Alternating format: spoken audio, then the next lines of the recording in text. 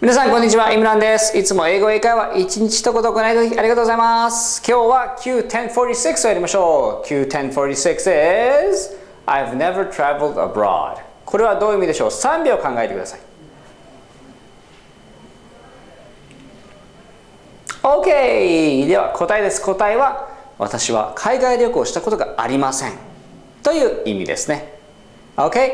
I've never でしたことがないという意味で使います。そして traveled 旅行ですね。abroad 海外です。なので海外旅行したことがありません。この英語、英会話一日とご覧の皆さんはいかがですか ?Have you traveled abroad?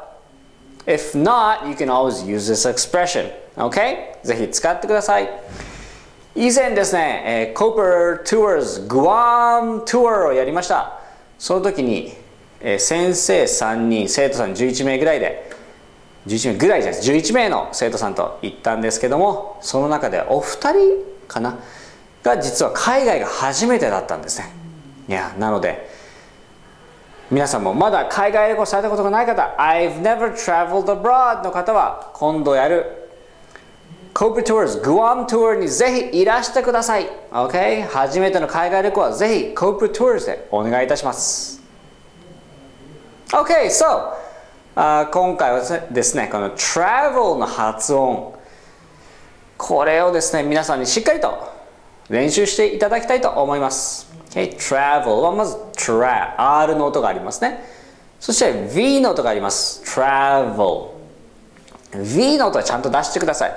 よくあの V を B で、えー、適当に流してしまう方がいますけども V の方が出しやすいです口のぐきは最小限で済むのでぜひ V しっかりやりましょう。V はいつも言ってますけども上の前歯が下唇に触れると音が出ます。OK? でたまにすごく怖く思いっきりやる人がいるんですけどもそうすると逆に音が出しにくいですね。いつも言ってますが英語の発音は発音しやすく崩してるんです。発音しにくくしないでください。OK? traveled 触れればいいだけですね。こう赤ちゃんを抱きかかえるようにソフトに触れてみましょう。Traveled. Traveled. もう口ほとんど動かないです。Traveled. あの誰でしたっけこういう人。一国道さんですね。一国道さんになったつもりでやってみましょう。まあちょっと口の開いた一国道さんでいきましょう。OK? traveled traveled. あ、travel だけで言いましょうか。travel travel travel ちょっと近づきましょうか。